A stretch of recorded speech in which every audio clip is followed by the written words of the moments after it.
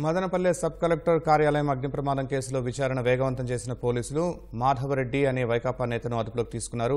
మరింత సమాచారం మా ప్రతినిధి నారాయణప్ప ప్రత్యక్ష ప్రసారం ద్వారా అందిస్తారు. శర్మ మదనపల్లి సబ్ కలెక్టర్ కార్యాలయంలో ప్రమాదంపై పోలీసులు విచారణ వేగవంతం చేశారు. ఇప్పటికే సబ్ కలెక్టర్ కార్యాలయంలో ప్రమాదం ప్రమాదం శాతం జరిగింది కాదు అగ్ని ప్రమాదం. అది ఘటన ప్రమాద ఘటన కాదు అది కుట్ర కోణంలోనే ఘటన అని చెప్పి ఒక నిర్ధారణకు వచ్చిన పోలీసులు ఆ కుట్ర కోణంలోనే సబ్ కలెక్టర్ కార్యాలయంలో ఫై ఫైళ్ళు తగులపడిపోయిన సంఘటనపై దర్యాప్తు ప్రారంభించారు. ఇందులో భాగంగానే అత్యంత కీలకమైన పరిణామం చోటు చేసుకుంది. మదనపల్లి పట్టణంలో వైకాపాకు చెందిన ప్రముఖ నాయకులు మాజీ మంత్రి పెద్దిరెడ్డి రామచంద్రారెడ్డి అనుచరుడు మాధవరెడ్డిని పోలీసులు అదుపులోకి తీసుకున్నారు. మనం ఒకసారి గమనిస్తున్నాం మాధవరెడ్డి ఇంటి వద్ద ఉన్నాం. మదనపల్లి పట్టణంలోని మాధవరెడ్డి ఇంటి వద్ద ఉన్నాం. ఈ మాధవరెడ్డి ఇల్లు ఇది.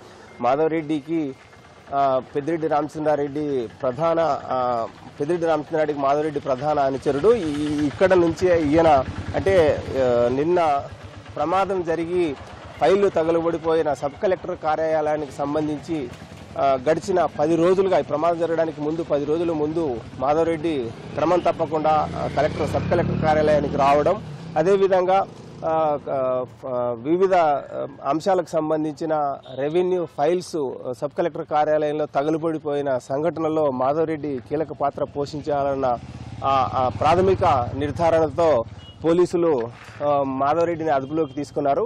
అదుపులోకి తీసుకొని ఆయన్ను విచారిస్తున్నారు. మనం చూస్తున్నాం పోలీసులు మాధవరెడ్డి ఇంట్లో ఉన్నారు. అదేవిధంగా దానికి సంబంధించి దా- దానికి సంబంధించిన అంశాలకు సంబంధించి పోలీసులు ఎలాంటి విచారణ నిర్వహిస్తున్నారు? మాధవరెడ్డి రెవెన్యూ సబ్ కలెక్టర్ కార్యాలయానికి చేరుకో పది రోజుల పాటు క్రమం తప్పకుండా ఎందుకు వెళ్ళాల్సి వచ్చింది? అదేవిధంగా ప్రమాదం జరగడానికి ముందు ఫైల్ తగలబోవడానికి పడిపోవడానికి ముందు ఎవరెవరిని కలిశారు?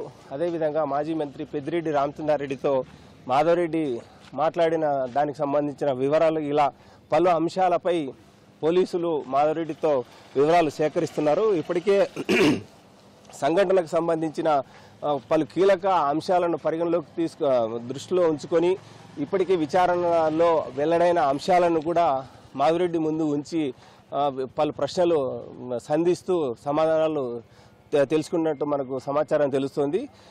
ఇవాళ ఉదయం నుంచి పలు కీలక పరిణామాలు చోటు చేసుకున్నాయి. ఇప్పటికే ఈ ప్రాంతానికి సంబంధించిన ఈ మదనపల్లి పరిసర ప్రాంతాలలో మా మాజీ మంత్రి పెద్దిరెడ్డి ప్రధాన అనుచరుడుగా భావిస్తున్న ఈ మాధవరెడ్డి ఎలాంటి అక్రమాలకు పాల్పడ్డారో అన్న అంశంపై స్థానికంగా ఉండే తహసీల్దార్లు కావచ్చు రెవెన్యూ అధికారుల ద్వారా నుంచి సమాచారం సేకరించుకున్న పోలీసులు దానికి సంబంధించి కూడా ఇప్పుడు వి- విచారణ నిర్వహిస్తున్న సమయంలో మాధవరెడ్డితో మాట్లాడుతున్నట్టు సమాచారం తెలుస్తుంది.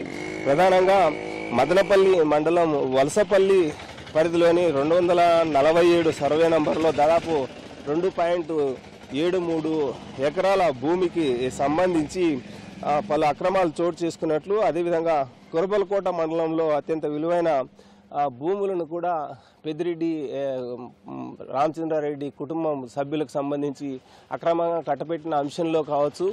అదేవిధంగా డీకేటీ భూములు కానీ యాజమాన్య హక్కుల లబ్ధాలకు సంబంధించి ఇచ్చే పట్టాల విషయంలో కావచ్చు.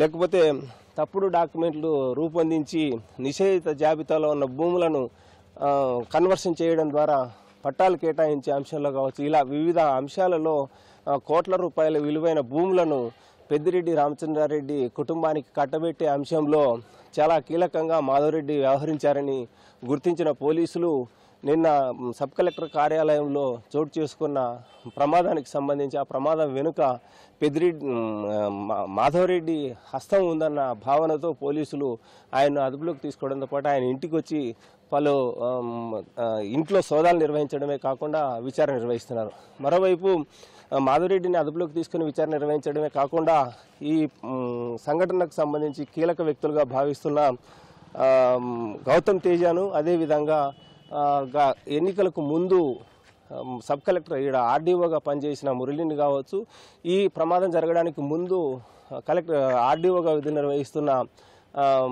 హరిప్రసాద్ను ఇలా వీరిని కూడా అదుపులోకి తీసుకున్నారు. వారిని వారితో కూడా పూర్తిగా వివరాలు సేకరిస్తున్నారు. ఇవాళ ఉదయం నుంచి వారిని సబ్ కలెక్టర్ కార్యాలయంలోనే ఉంచి బయటికి రాకోకుండా వారి ద్వారా సమాచారం సేకరిస్తున్నారు. అదేవిధంగా ఈ మదనపల్లి సబ్ కలెక్టర్ కార్యాలయ పరిధిలో ఉన్న వివిధ మండలాల నుంచి తహసీల్దారులందరినీ ఈ ప్రాంతానికి తీసుకొచ్చి అంటే ఇప్పటికే తగులుపడిపోయిన దస్త్రాలకు సంబంధించిన పూర్తి వివరాలు సేకరించడంతో ఆయా పరిధిలో ఏ ఏ మండలాలు ఉన్నాయి ఆ మండలాల నుంచి ఇటీవలి కాలంలో ఈ చుక్కల భూములు కావచ్చు లేకపోతే ఇరవై రెండు ఏ నిషేధిత భూముల జాబితాలో నుంచి ఉన్న భూములను కన్వర్షన్ చేసే అంశం కావచ్చు ఇలా వివిధ అంశాలకు సంబంధించి ఎలాంటి ఫైల్స్ను అప్రూవల్ కోసం సబ్ కలెక్టర్ కార్యాలయానికి పంపించారు అన్న వివరాలు సేకరించి వాటి నోట్ ఫైల్స్కు సంబంధించి వాటి దస్తాలను అన్నింటినీ పెద్ద ఎత్తున ఉదయం నుంచి సబ్ కలెక్టర్ కార్యాలయానికి తీసుకువచ్చి వాటిని పూర్తిగా పరిశీలించడం ద్వారా వాటి ఆధారంగా ఇప్పటికే అటు గతంలో ఇక్కడ పనిచేసిన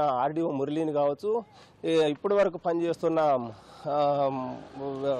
మరో ఆర్డీఓతో కావచ్చు అదేవిధంగా ఈ మాధవరెడ్డిని అదేవిధంగా గౌతమ్ తేజాను. ఇలా ఇప్పటికే అనుమానిస్తున్న పలువురు వ్యక్తులను అదుపులోకి తీసుకుని వారి నుంచి సమాచారం సేకరిస్తున్నారు. మరోవైపు ఈ ప్రమాదానికి సంబంధించి పూర్తి స్థాయిలో ఎలాంటి అంశాలను చిన్న అంశాలను కూడా వదిలిపెట్టకుండా కుట్ర కోణంలో కుట్ర చేయడానికి వెనక ఉన్న కారణాలు ఏంటి ఆ కుట్ర కోణం ఏమిటి అన్న అంశాలను ఎప్పటికప్పుడు ఒక అంశం కూడా వదలకోకుండా పూర్తి స్థాయిలో పకడ్బందీగా గుర్తించేందుకు అవసరమైన అన్ని విచారణలు విస్తృతంగా చేపట్టారు.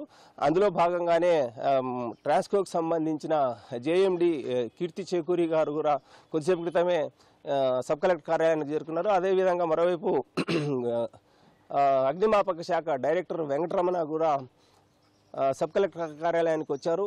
ఇలా వివిధ శాఖల అధికారులందరినీ కార్యాలయానికి పిలిపించి పూర్తిగా సమా ప్రమాదానికి సంబంధించిన అంశాలపై విచారణ నిర్వహిస్తూనే ప్రమాద కోణాన్ని కుట్ర కోణాలను వెలుగులోకి తెచ్చేందుకు ప్రయత్నిస్తూనే మరోవైపు కుట్ర జరిగిన నేపథ్యంలో ఆ కుట్ర జరగడానికి గల కారణాలు ఏంటనే అంశంపై ఇట్లా పలువురు మాధురెడ్డి లాంటి వ్యక్తులను కూడా అదుపులోకి తీసుకొని పలు సమాచారాలు సేకరిస్తూ కుట్రకోణం నుంచి వెలుగులోకి తెచ్చేందుకు అది పోలీసులు విస్తృత ప్రయత్నాలు ప్రారంభించారు. శర్మ ఇది ఇక్కడున్న తాజా పరిస్థితి. Cameraman భాస్కర్తో V Narayanappa ETV news Madarapalli నుంచి.